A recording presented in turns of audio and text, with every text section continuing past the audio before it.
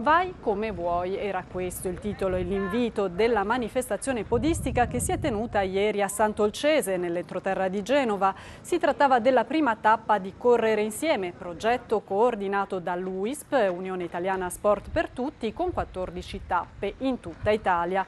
Lo scopo è benefico, si partecipa per solidarietà e per rilanciare i valori positivi dello sport e il ricavato dalle quote di iscrizione è destinato a progetti non profit del territorio.